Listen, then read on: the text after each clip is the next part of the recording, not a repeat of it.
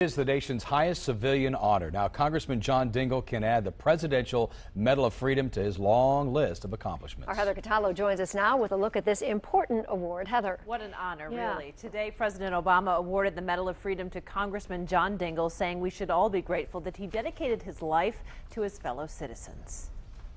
The Dean of Congress, honored today with the Presidential Medal of Freedom.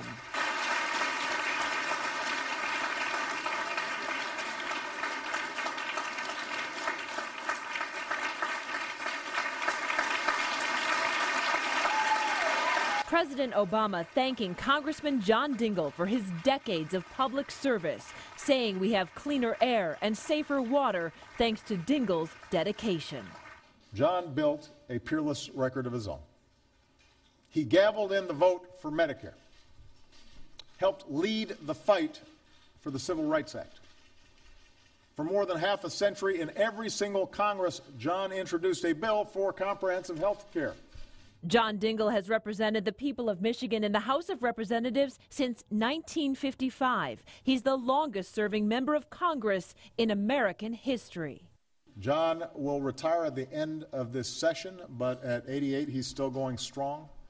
Uh, and his life reminds us that change takes time, it takes courage and persistence.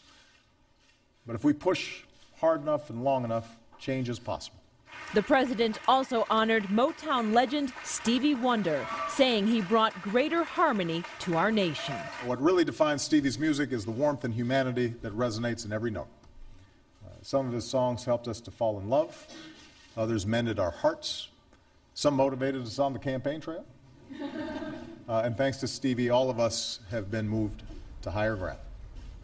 President Obama also awarded the Medal of Freedom to 16 other recipients today, including actress Meryl Streep and Ethel Kennedy. Jeff yeah, and Joanne. What an honor for them all, especially Congressman yeah. Dingell. Great all to see. All well deserved. Yeah, right? for sure.